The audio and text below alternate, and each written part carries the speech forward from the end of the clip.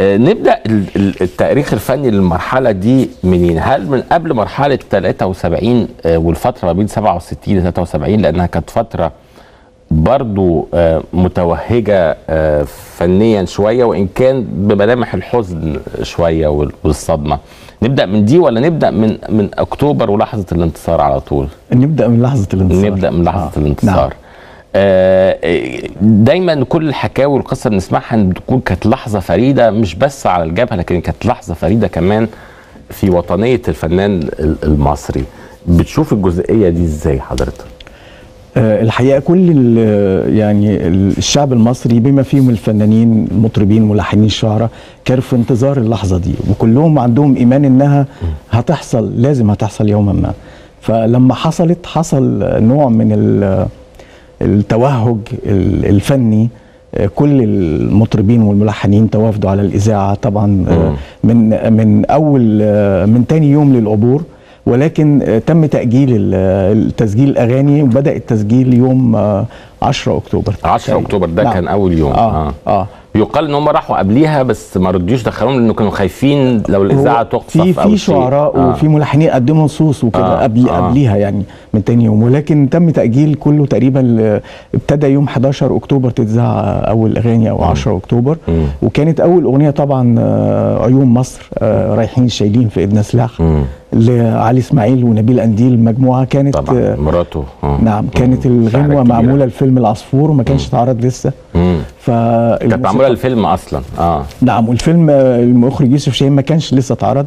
فراحوا ال- الاستوديو مصر تقريبا. الاستوديو اللي فيه الفيلم وخدوا الغنوة من شريط الصوت بتاع الفيلم ومنتجوها واتذاعت كانت أول غنوة جديدة تتذاع للمعركة مم. والحقيقة يعني إنه علي إسماعيل قال الأغنية مصر عندي أهم من الفيلم ومن الأغنية ف... يعني آه. آه. آه زي ما أنا قلت في الأول آه. إن الإيمان كان آه إيمان آه عظيم جدا بإن اللحظة دي هتحصل وده واضح في كلمات الأغنية عيون مصر أو رايات النصر آه رايحين شايلين في إيدنا سلاح راجعين رافعين رايات النصر دي مكتوبة قبل المعركة مم. يعني فحقيقة. أغنية عظيمة الحقيقة نشيد. عظيم يعني طبعا ولسه آه، ب- بدأ بقى آه. التسجيل كان آه، أول أغنيتين كان آه، على الربابه خطوة، آه. آه لبليغ حمدي وعبد الرحمن آه، منصور. سوري وعبد الرحيم منصور منصور آه وأغنية قومي ليك السلام يا مصر يا بلادي مم. آه، لعبد الحليم حافظ برضو عبد الرحيم منصور وبليغ حمدي مم. نعم بليغ حمدي ليه دايما كان ليه نصيب الأكبر في المرحلة دي؟ نعم هو قدم حوالي هل هو عشان كان منجز ولا لأنه كان عبقري يعني، آه، في في سرعة ال- التواكب مع هو صاحب الأحداث؟ أنجح ألحان آه. الحقيقة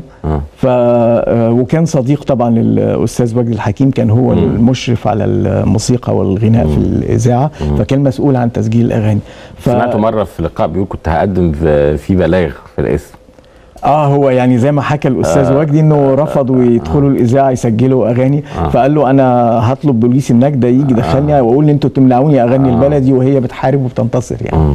ف طبعا لا لا طب كان إزاي بيتم مراجعة يعني برضو ال- بنسمع آه. وبنقرا بيقول لك كانت في خليه نحل في التلفزيون والناس كلها راحت ومش مش مرتبة حاجة نعم وفي اللي خلص في أغنية في تلت ساعة في عمل وقت قياسي و وكانت الناس بتقعد تشتغل مع بعض تعمل ورش عمل يعني اللحظة دي جوه التلفزيون كانت إزاي؟ وإزاي كان بيتم موافقة على الأغاني في الوقت السريع ده؟ أو كان الآلية بتمشي إزاي؟ آه، وقتها كان الاذاعي الكبير محمد محمود شعبان بابا شارو كان. رئيس الإذاعة.